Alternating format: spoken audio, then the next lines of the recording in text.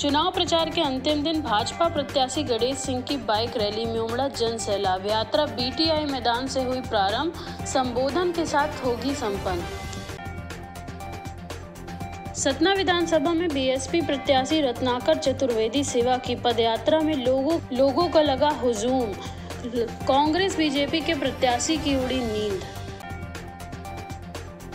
चुनाव प्रचार के अंतिम दिन कांग्रेस प्रत्याशी सिद्धार्थ कुशवाहा की पदयात्रा में उमड़ा जन सैलाब यात्रा नजीराबाद से प्रारंभ होकर सिंधी कैंप में जनसभा को संबोधन के साथ संपन्न होगी। विधानसभा निर्वाचन 2023 के दृष्टिगत सतना और मैहर ज़िले के विधानसभा क्षेत्रों के लिए नियुक्त समस्त सेक्टर एवं पुलिस सेक्टर अधिकारियों की बैठक। बुधवार को टाउन हॉल सतना में कलेक्टर एवं जिला निर्वाचन अधिकारी अनुराग वर्मा की अध्यक्षता में की गई आयोजित। मैहर माँ शारदा शक्तिपीठ के पूर्व प्रधान पुजारी देवी प्रसाद पांडे का आकस्मिक निधन, स्वामी देवी प्रसाद के आकस्मिक निधन पर छोटे भाई रमेश पांडे, बम बम महाराज ने अपनी संवेदना व्यक्त की। स्वामी के विषय में मेरे पास कोई शब्द नहीं है।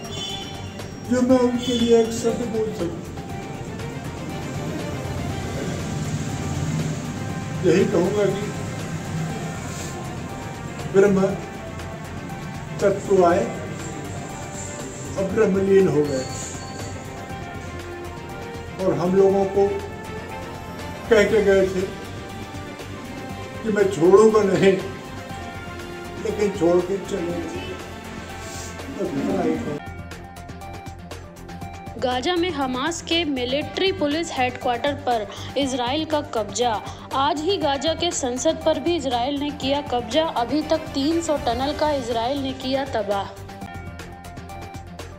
सहारा ग्रुप के प्रमुख सुब्रत रॉय का निधन। मुंबई में ली आखिरी सांस व लंबे समय थे बीमार। सहारा परिवार के मुखिया सुब्रत रॉय काफ़ी दिनों से गंभीर बीमारी से ग्रसित थे। उनका मुंबई के निजी अस्पताल में चल रहा था इलाज।